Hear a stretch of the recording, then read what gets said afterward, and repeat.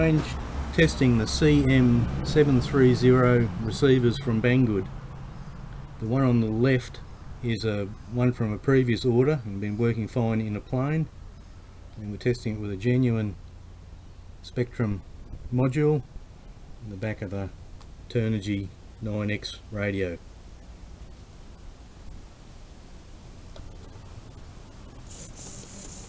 All working fine.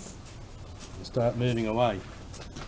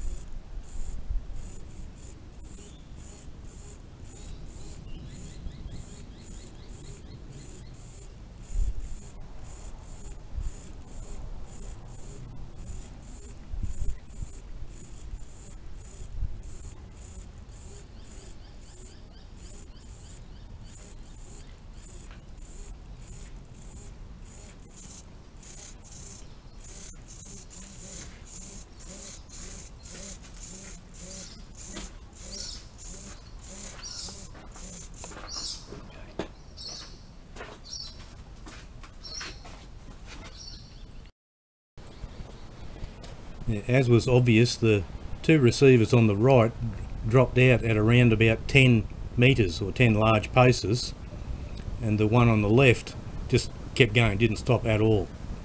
Uh, the range of the two on the right is just unacceptable and should be, uh, they're obviously faulty.